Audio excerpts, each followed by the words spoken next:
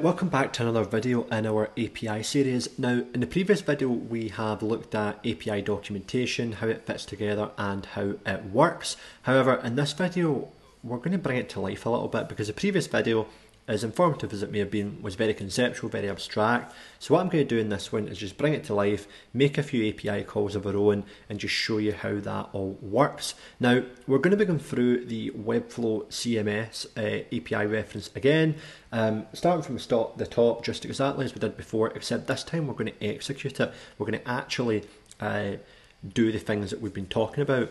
Now, we're going to use this tool called Hoppscotch. Hoppscotch is essentially just what we call an API client, which is a tool for sending and receiving information via APIs. In practice, when you were, you know, when you were building an app, then you would be essentially using whatever you know API tool is built into your no-code uh, platform of choice. So you know if it's Zapier, then it has its own way of doing APIs. If it's Glide, if it's you know Bubble, whatever tool you're using. However, the reason um, that I've decided not to use one of them for this demo is for two two kind of uh, I guess key things to watch out for, which is number one, if you just want to experiment with an API, see what it can do, play about with it, make sure it makes sense, then it's worth just grabbing an API client like this so that you can mess around with it really, really quickly. You don't have to set up a database, you don't have to sign into your no-code tool, etc. The other reason is typically um, when you are building with a no-code tool, you're going to have to set up a workflow, you're going to have to send certain data into the API. There's a lot of kind of setup that's needed just to get an API to work in a no-code tool. Um, it's actually a good thing, but you know, it's only for when you're building an app. When you're building an app, yeah, absolutely, you're going to set up a database and a workflow before you work with APIs, obviously. Um, but when you're just trying to test about and play with APIs, that doesn't make a whole amount of sense. So you can find this tool at uh, hoppscotch.io. It's hop with two P's. It's completely free. There's no login. Literally, the minute you type in that URL, you're going to land on exactly the same page that I am on here. Um, and we can see a few things that might be, you know, I, I can appreciate this is probably quite an intimidating design. There's a lot going on here, but let me kind of talk through what we do care about, what we don't care about, because there are a few things you're probably going to immediately appreciate. Um, so we've got the method here, and we've got get, post, put, delete. Yes, there's some stuff you've not seen like connect and head. Don't worry about them. It's just programmer stuff. Even programmers don't really use it. Um, We've got a, a, box here for our base URL, and then down here we've got a couple of things that might sound a little bit familiar. We've got parameters. Um, and if I click that, I can add a key and a value to a parameter. Um, I've got my headers, and again, I can add a key and a value. Uh, and if you remember, headers were something that featured in our, um, our API reference. And then what I also have is authentication. So I can pick various methods of authentication like OpenAuth uh, or bearer token. Um, you might remember bearer token again from the API reference on Webflow, uh, where we had this authorization token bearer. Any API tool worth its salt will typically split the normal headers out from the authentication header. So the first thing that I'm going to need to do is get my authentication token or my API key. And the way I do that, this is going to be different again in every no-code tool, but in Webflow, I simply come into my project, which in this case is called no-code demo, um, I go to the integrations tab, I scroll down and I've got an API key here. Now I've already generated one, I'm going to generate another one. It will never ever show me this key again, so if I lose it, I'm going to have to regenerate it, and that is a pain. But the reason for that is because if anybody gets access to this key, they can control your whole website. So you never want to show this to anybody, you never want anyone to see it. Clearly I'm putting in a video, but the first thing I'm going to do at the end of this video is I'm going to, as soon as I turn the screen off, I am going to go and reset my token. So even though you're seeing my full token today, it will not work in the future. So I've got my token, I'm going to paste it in here, and this is something you can do. It can be Webflow API, it can be any API, um, but whenever a bearer token or an API token is available, you can put it in there. Um, sometimes different tools will have a, a, different way of doing it, but you can always just put a header in there. You've got this other stuff like prerequisite script and tests. Don't worry about that. Um, it really doesn't matter unless you are um, programming at this stage, to be honest. So what else do we need? Well, what we're probably going to do in this video is, I think we'll go and list out all the sites I've got. Once we've got the sites, we'll list out the uh, collection ID, uh, collections and their collection IDs. Once we've got the unique IDs, we'll then go in, take a look at each collection and put an item in them. So If we have a little bit look at this, uh, this is suggesting that uh, when we go to list sites, we need to have this header here. So we've already got our authorization one. We've already uh, we need the base URL, so we'll grab that. I'm just going to copy and paste that. So, oh dear, why can't I drag properly? Control C. If I go into Hoppscotch and my URL field, I'm going to paste that in. So, okay, we've got our base URL api.webflow.com, and we're going to look up sites. We've put slash sites. Uh, we've also got another header here, which is called accept version. So you could copy and paste this, I'll just type it in. Uh, so I'm going to hit new, again I get this key value. Now it will suggest some stuff, uh, this one's quite non-standard so it doesn't come up as a suggestion, but I'm going to do 1.0.0. So my key is accept version, my value is 1.0.0 as you can see here. And it's telling me it's a get request, it's Webflow, it's site. So I think we've got everything.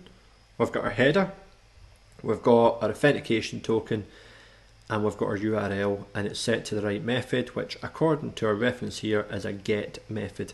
And if you remember from the, the API slides, get is equivalent of read or retrieve, um, similar to the, the CRUD methodology.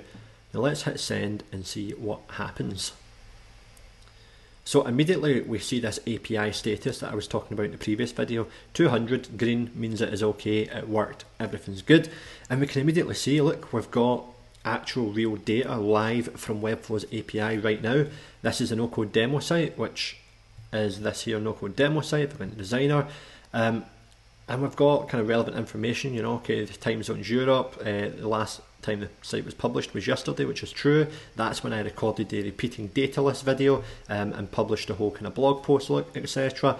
So we can see all this information and importantly we can see the ID. So this is your unique identifier for this particular record. I've got loads of uh, no-code sites but this is set up in such a way that it's only going to show me this one um, just because I don't want to show off my IDs and stuff from my other websites that are actually real and in use. So if I grab that what I can now do, if you remember, when we want to get a specific site, we can put that in. Or if we want to get the collections which belong to a specific site, we can go to site uh, slash sites like we have already. We can add in the site ID like we just got for our no-code demo site, and then we can do slash collections. So let's take a little bit of a look at that. So we're going to slash oops, slash the site ID. That is the one that I just copy and pasted right from here. So slash site ID slash collections. I'm going to hit send. Now you can see I've got a 200 so that's worked. Before I scroll down and show you what I've got, let's just double check this one more time. So this is the site, these are the two uh, available collections. We've got blog posts and we've got offers. And if I scroll down, it's going to show me blog posts and offers because it's just went into the Webflow database and pulled out the information that I asked for. It's pulled every collection related to my site. Uh, similarly, if I went in right now and if I added another collection and then went ahead and queried that, it would work, it would show up, it would let me see that information as well. Now, what I want to update this time is offers. So I'm going to grab this ID, and before we kind of get into how we would maybe add an offer in, let's just take a quick look at that collection, what's in it, what are the field types, etc. So we'll come back, uh, if we want to get a collection with full schema, so the schema is just the collection of fields, it's just another word for the, the model or the database fields or table, whatever you want to call it. If I go uh, to, I think that said collections this time, so slash collections slash my collection ID, which again I've just taken from down here, um, begins 6051, 6051. If I look at that and I do a get request there, this should bring me back the details of this database table. So it's not only telling me, yep, it's the offers, we knew that, but it's also telling me the different fields. So we've got the bio field, the bio summary, uh, the picture, the email, the Twitter profile link, Facebook link, name, etc. And let's just sense check that in the UI. So if we go to offers and we look at the settings, this is going to tell us the different fields that we've got.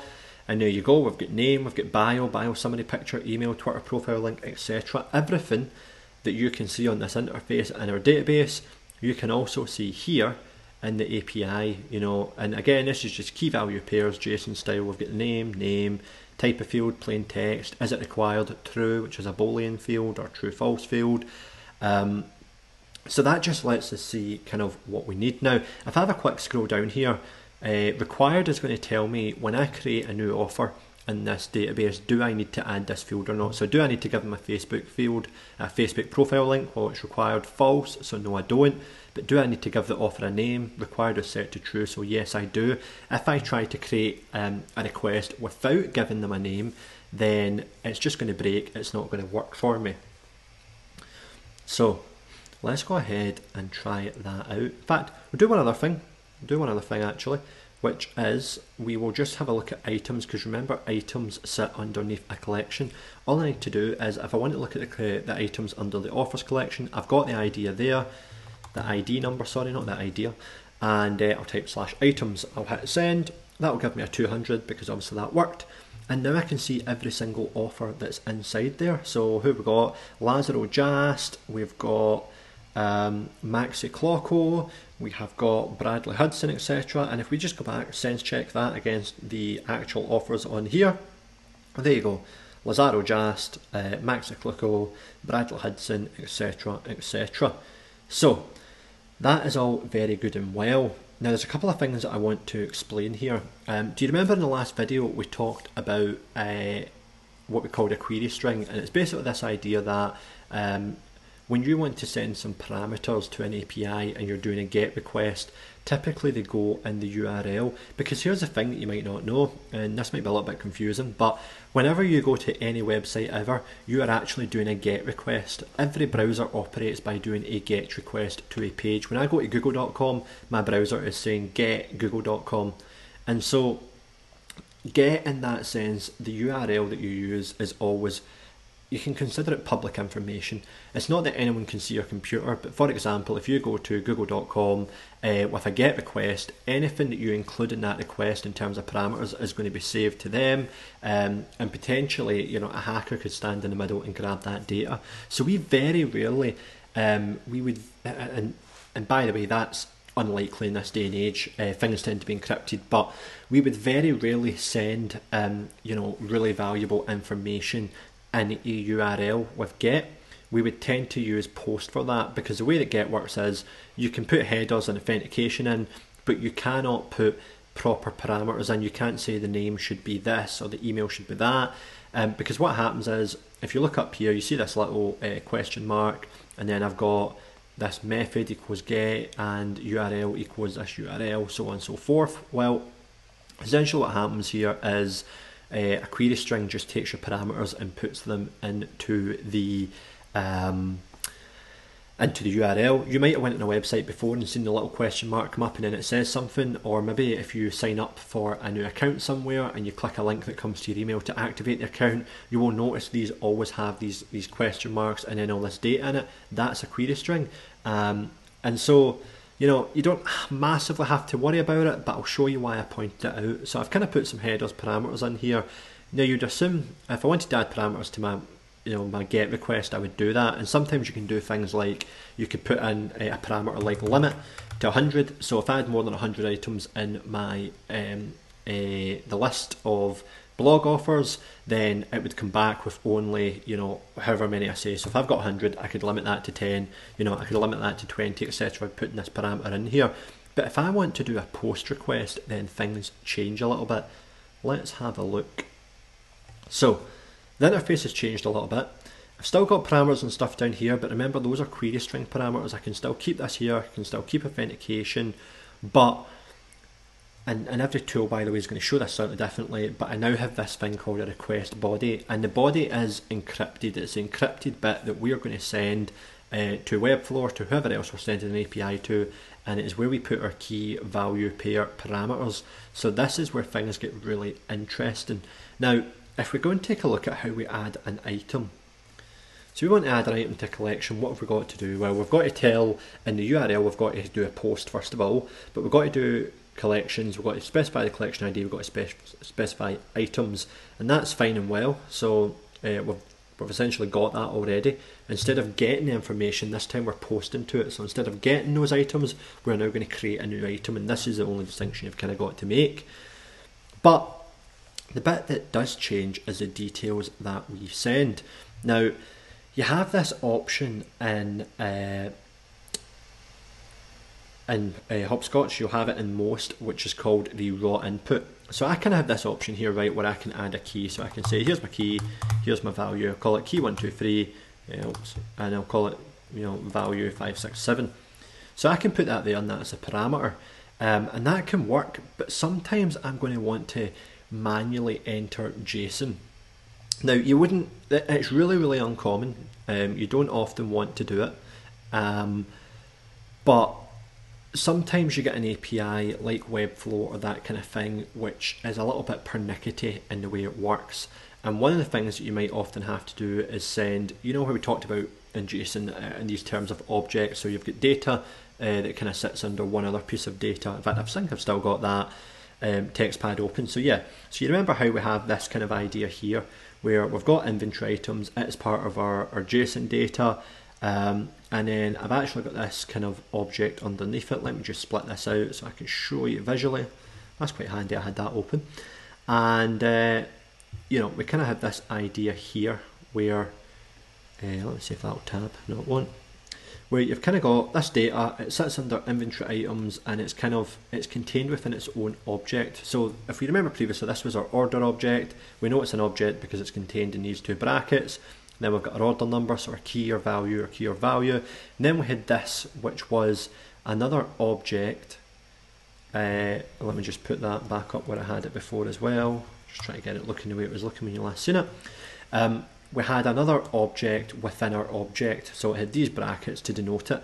Well, not every API will do this, but Webflow just so happens to do that for the request. So I've got to specify the fields. So if we look at this, I've got to specify the fields within an object and that object is contained within the base object I'm sending. So whenever I send a JSON object, and hopefully when you do an API yourself, you won't have to mess around with this because it is a bit of a pain, you know, it's something you'll just play around with. But whenever I do a JSON object, um, or sorry, whenever I do a post request, there is also always a JSON object um, within it. Whenever it says application slash JSON, which will be almost every API you use, then you will have this object. So there's a couple of things I could do.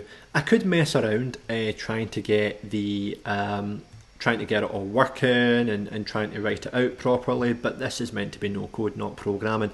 And one of the exciting things about APIs is that you can essentially just copy and paste your way to um, to making this work. Now, there's a couple of things actually. Let me paste that probably the way that you would do it. So I'm just going to paste that. Now, remember, this is curl. Uh, this is curl, as, as I, I, mentioned in the last video, it's a little application you get on your own computer um, that can let you make API calls, but it is entirely done with typing. You do not want to use it, it is super confusing. I'm a programmer and I still struggle with it. So I'm just going to take what they had in that box and I'm going to paste it the way that you might as a, um, a, a no-code user. And there's a few things I need to clear up. Have a look at the difference between that and this. Do you see any dollar sign or anything before that? Do you see a quotation mark after that? You don't, so let's take it out. So delete that, delete that, delete that. Do you see data binary in there? Nope, you don't because that's some curl stuff. So take that out, and suddenly, here we have our um, our our JSON object. I'm just going to take a bit of excuse me, spacing away there, I don't think it'll matter, but I can essentially, I've now pasted this in, I can change these fields to whatever I want, I can kind of say, right, um, this is obviously taking a blog post title rather than an offer, so not all of these fields will apply, but I can kind of just delete these and just put in whatever fields I want. So I'm only going to have these two fields because they are required.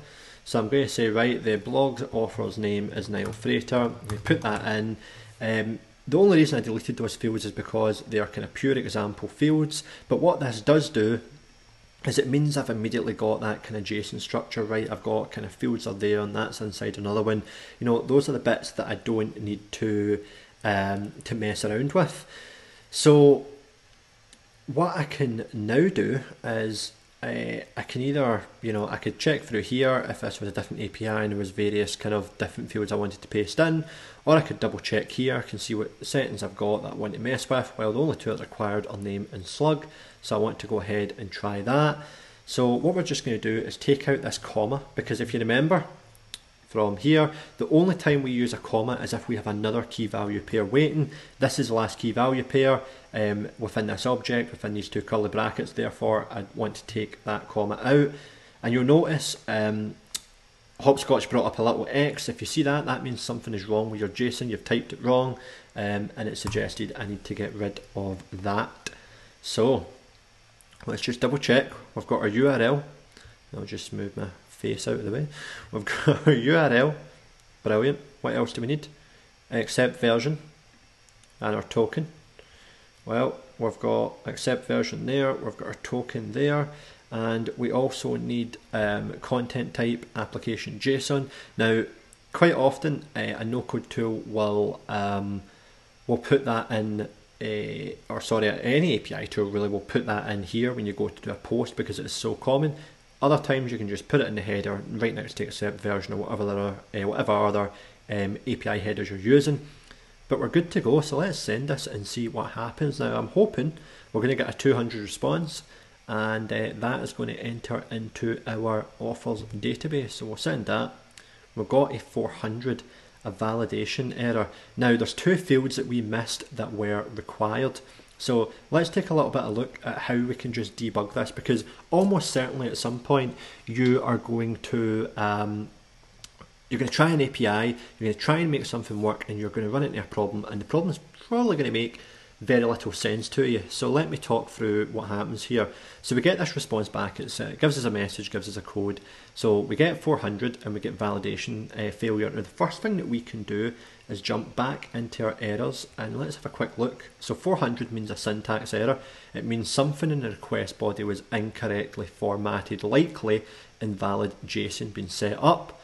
Now that could be the case, but thankfully it tells us a little bit more about what went wrong we were missing two required fields. Now, how did we miss them?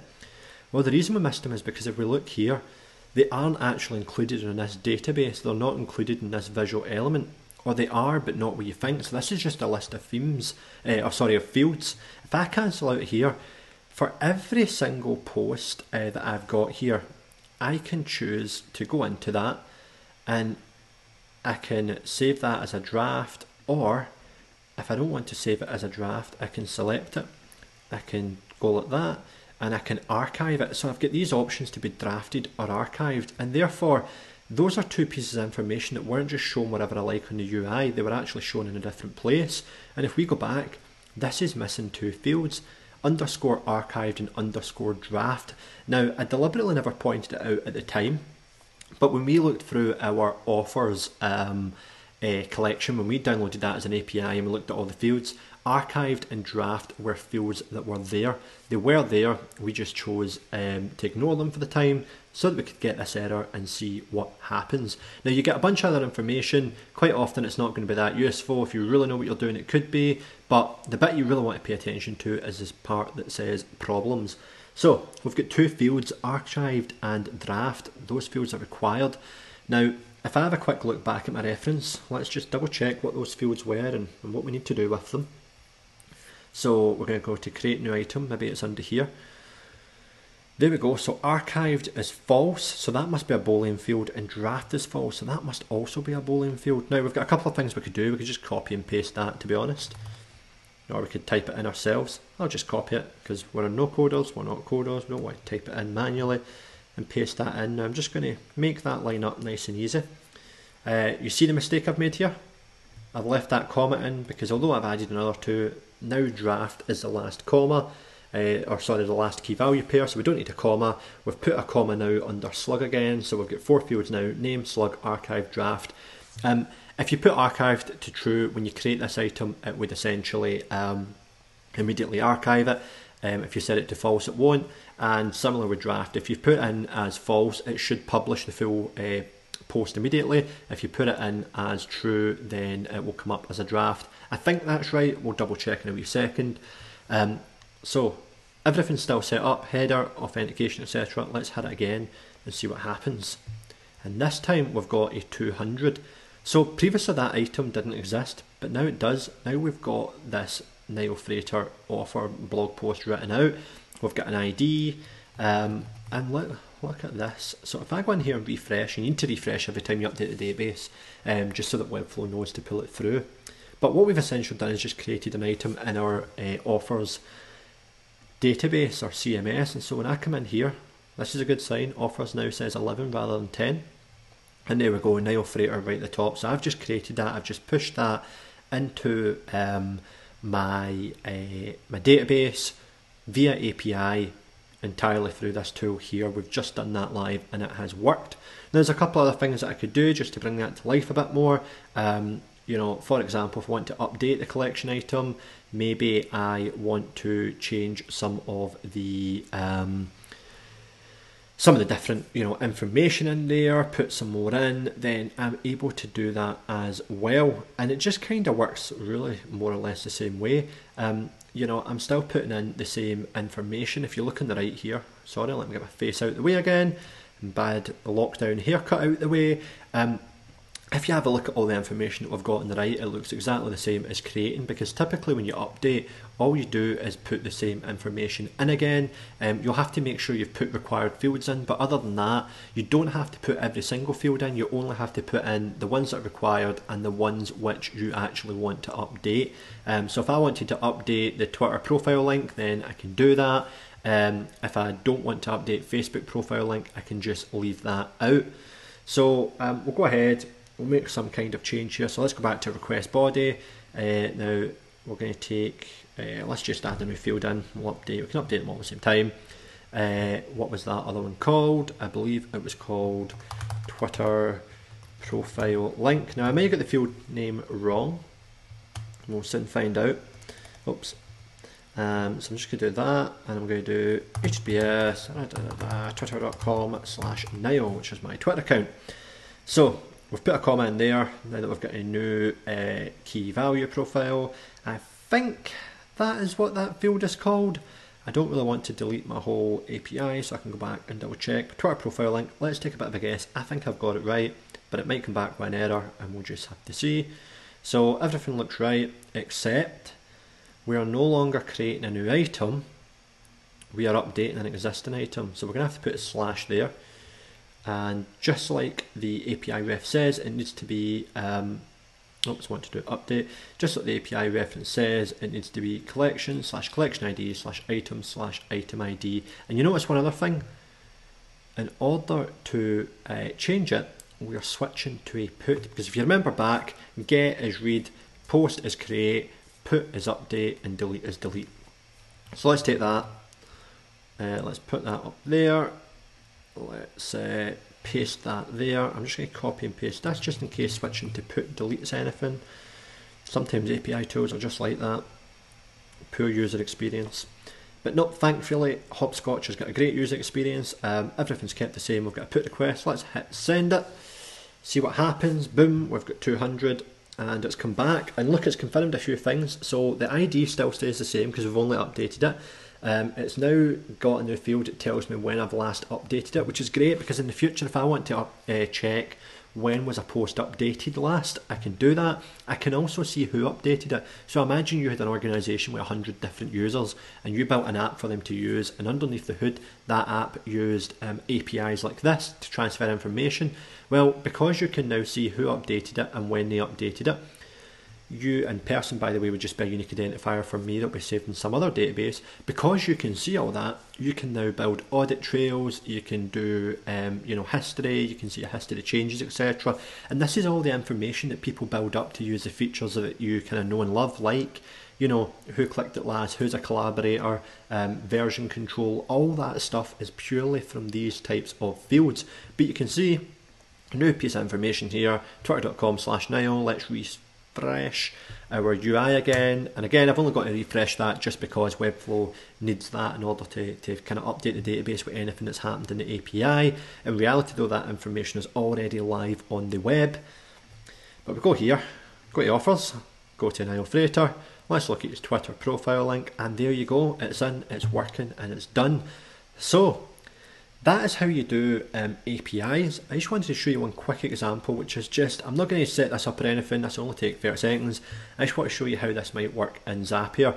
Um, because, you know, this is us purely doing it manual. That's very rarely going to happen. When you've got an app running, you want it to be making API calls while you sleep. So you might do something in Zapier. Let's say you've got, um, a, you're, let's say you're building an app so that every time somebody tweets, it, you know, I don't know, it, it sends it to somebody um, via API.